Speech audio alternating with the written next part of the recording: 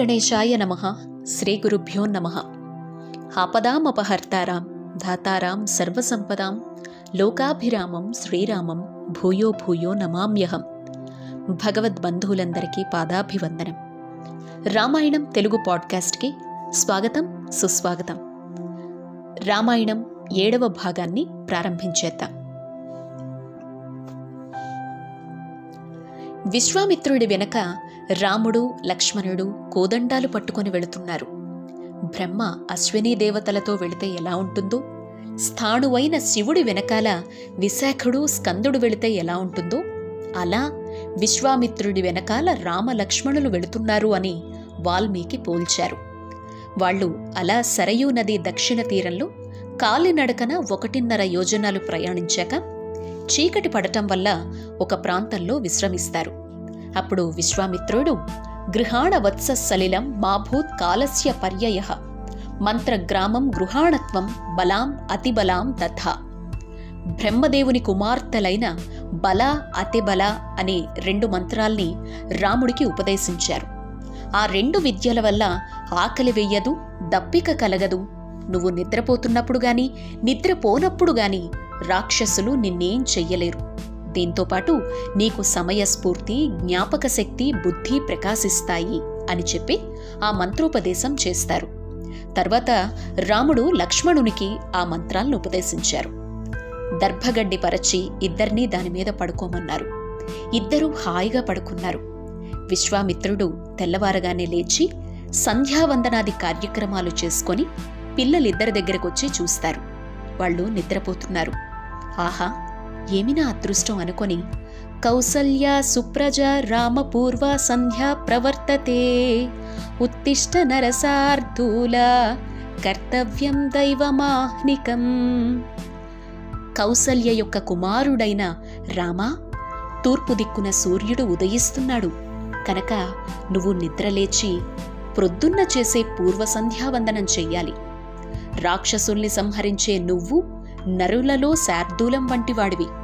దైవీ సంబంధమైన అహ్నికాల్ని నెరవేర్చడానికి శుభప్రదమైన సమయం మించిపోకూడదు.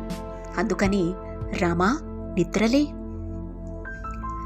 రామలక్ష్మణులిద్దరూ నిద్రలేచి చెయ్యవలసిన కార్యక్రమాలు పూర్తి చేశారు.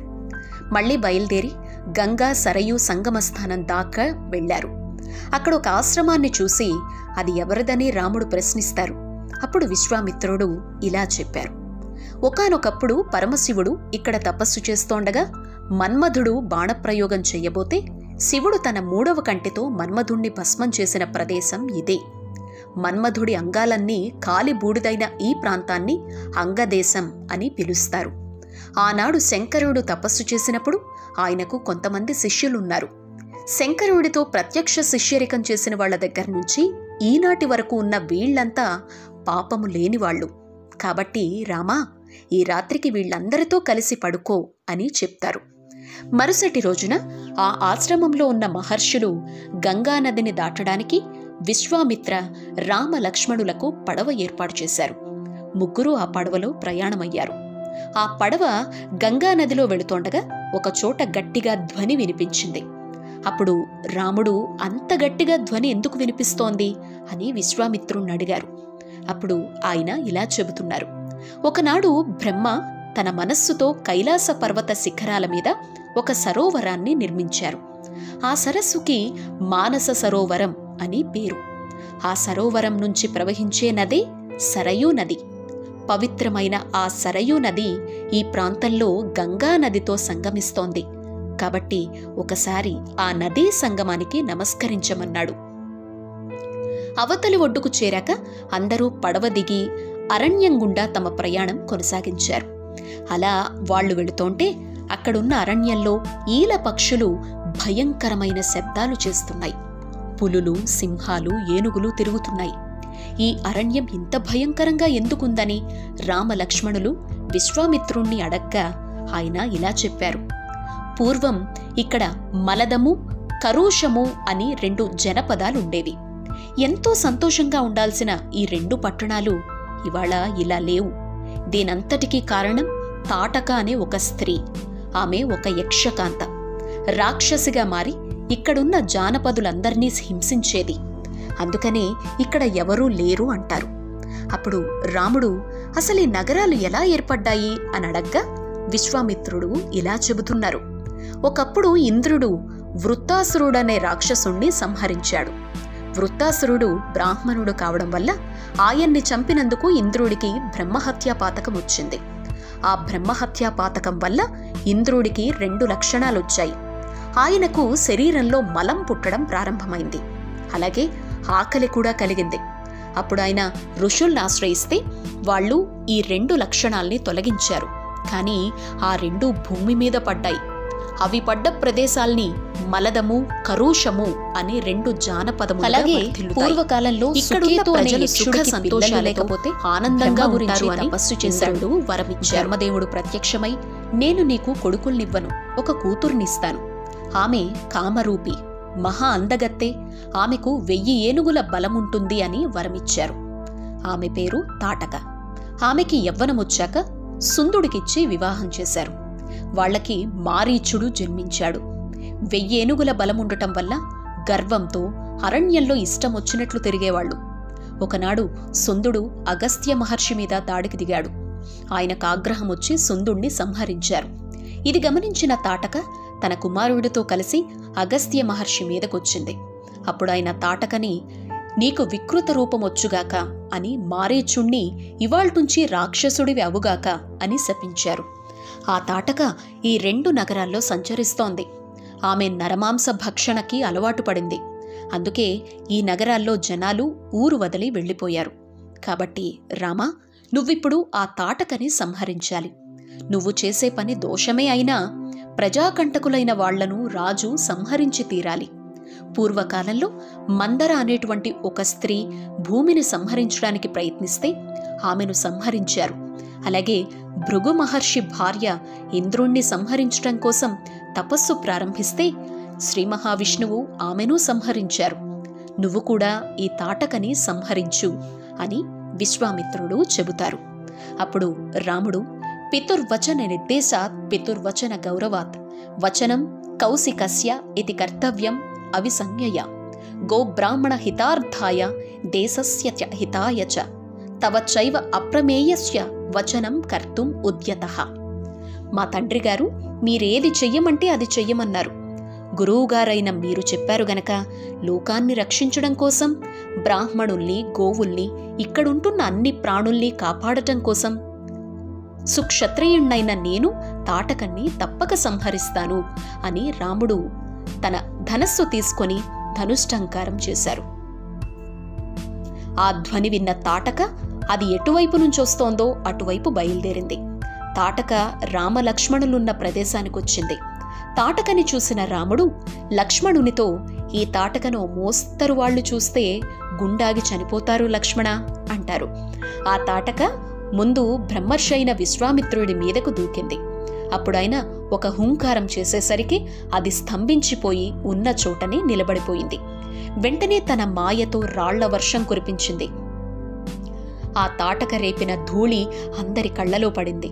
అప్పుడు విశ్వామిత్రుడు రాముడితో ఇంకా ఉపేక్షించే లాభం లేదు తొందరగా ఆమెను సంహరించు అంటారు. ఎంతైనా ఆడది కదా ముందు దీని గమనశక్తిని కొట్టేద్దాం. అప్పుడన్నా మారుతుందేమో చూద్దాం అని రాముడు కాళ్ళు చేతులు లక్ష్మణులు ముక్కు చెవులు నరికారు. అప్పుడు ఆ తాటక మాయారూపం పొంది మాయమైపోయింది. అదృశ్యమైన ఆ తాటక భారీ శరీరంతో రాముడి మీద పడబోతోంటే రాముడొక బాణం ప్రయోగించి ఆ తాటకను సంహరించగా దాని రక్తం ఏరులై ప్రవహించింది. పైనుంచి దేవతలు చూసి హమ్మయ్య తాటక సంహరించబడింది అని ఆనందపడ్డారు. వెంటనే ఆ దేవతలు విశ్వామిత్రుడి దగ్గరకు వెళ్ళి ఇంత ధైర్యమున్నవాడి దగ్గర అన్ని అస్త్రశస్త్రాలుండాలి. కాబట్టి నీకు తెలిసిన ధనుర్విద్యనంతా రామలక్ష్మణులకు ఉపదేశించు అన్నారు. అప్పుడు విశ్వామిత్రుడు రామలక్ష్మణులకు హయశిరోనామం అనే అస్త్రాన్ని క్రౌంచ అస్త్రాన్ని మంత్రోపదేశం చేశారు.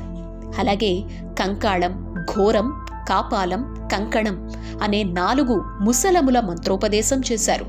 అలాగే ఐంద్రాస్త్రం బ్రహ్మాస్త్రం బ్రహ్మశిరోనామకాస్త్రం మానవాస్త్రం వారుణాస్త్రం ఇంద్రాస్త్రం ఐషీకాస్త్రం గాంధర్వాస్త్రం నారాయణాస్త్రం రకరకాల పిడుగులు మొదలైన సర్వాస్త్రాల మంత్రోపదేశం చేసి రెండు అద్భుతమైన గధల్ని నందనం అనే గొప్ప ఖడ్గాన్ని ఉపదేశించారు.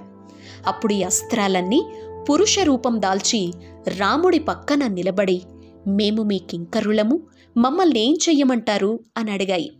మీరందరూ నా మనస్సులోకి వెళ్ళి అక్కడ తిరుగాడుతూ ఉండండి. నేను పిలిచినప్పుడు బయటకు రండి అని ఆదేశిస్తారు. అవి అలాగే రాముల్లోకి ప్రవేశించాయి. మరుసటి రోజున రాముడు విశ్వామిత్రుడితో మీరు నాకు ఇన్ని అస్త్రాలను ఉపదేశించారు. అలాగే వాటి ఉపసంహారాన్ని కూడా ఉపదేశించండి అని కోరతాడు. విశ్వామిత్రుడు రాముడికి ఉపసంహార మంత్రాల్ని చెప్పాక ఇంకొన్ని అస్త్రాల్ని కూడా ఉపదేశిస్తారు. అలా అన్ని అస్త్రాల ఉపదేశం అయ్యాక వాళ్ళు తమ ప్రయాణాన్ని కొనసాగించారు. అలా వెళుతోండగా అక్కడ ఒక ఆశ్రమం కనిపించింది. ఆ ఆశ్రమం ఎవరిదని రాముడు ప్రశ్నించగా విశ్వామిత్రుడు ఇలా చెబుతున్నారు. ఒకప్పుడు విరోచనుడి కుమారుడైన బలిచక్రవర్తి తన పరాక్రమంతో ఇంద్రుణ్ణి నిర్బంధించారు. అప్పుడు శ్రీ మహావిష్ణువు వామనమూర్తిగా వచ్చి బలిని పాతాళానికి పంపారు. ఆ వామనమూర్తి తపస్సు చేసిన ఆశ్రమమే ఈ ఆశ్రమం. దీనిని సిద్ధాశ్రమం అంటారు. ఇక్కడే కశ్యప ప్రజాపతి తపస్సు చేశారు. ఇక్కడే విష్ణువు ఇంద్రుడికి తమ్ముడిగా ఉపేంద్రుడిగా పుట్టారు. నేను యాగం చేస్తున్నది కూడా ఈ ఆశ్రమంలోనే అని చెప్పి అంతా ఆ ఆశ్రమంలోకి వెళ్ళారు ఆ సిద్ధాశ్రమంలో యాగం ప్రారంభించారు. ఈ యాగం ఆరు రాత్రులు ఆరు పగళ్ళు జరుగుతుంది. కాబట్టి నువ్వన్ని రోజులు జాగ్రత్తగా ఉండాలి అని చెప్పి విశ్వామిత్రుడు మౌన దీక్షలోకి వెళతారు. ఐదు రోజులు యాగం చక్కగా జరిగింది. ఆరవ రోజున ఆ అగ్నిహోత్రం ఒక్కసారి భగ్గున పైకి లేచింది. వెంటనే రాముడు లక్ష్మణుణ్ణి అప్రమత్తంగా ఉండమన్నారు. అప్పుడే పైనుంచి మారీచ సుబాహువులు కొన్ని వేల రాక్షసులతో వచ్చి ఆ అగ్నిహోత్రంలోకి రక్తం పోశారు.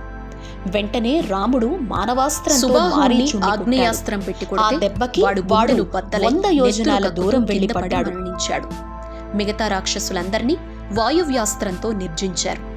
యాగం పూర్తయ్యాక విశ్వామిత్రుడు లేచి రాముణ్ణి ఆలింగనం చేసుకున్నారు. ఆ రాత్రి అంతా హాయిగా పడుకున్నారు. మిథిలా నగరంలో జనక మహారాజు ఒక గొప్ప యాగం చేస్తున్నారు. కాబట్టి మీరు కూడా నాతో ఆ నగరానికి రండి. అక్కడ చూడవలసినవి రెండున్నాయి అని విశ్వామిత్రుడు రాముడితో చెబుతారు. అంతా ఆ మిథిలా నగరానికి బయలుదేరతారు. ఇది రామాయణం ఏడవ భాగం పాడ్కాస్ట్. తరువాయి భాగంలో మళ్ళీ కలుద్దాం. నా వీడియో మీకు నచ్చినట్లయితే తప్పకుండా లైక్ చేయండి షేర్ చేయండి. మీ విలువైన సలహాలు సూచనలు ఏమున్నా నాకు కామెంట్ బాక్స్లో అందించండి. నన్ను మరింత ప్రోత్సహించండి. ఏవైనా తెలిసి తెలియక తప్పులు మాట్లాడి ఉంటే వాక్య దోషాలు ఉంటే నన్ను దయచేసి క్షమించండి. జై శ్రీరామ్.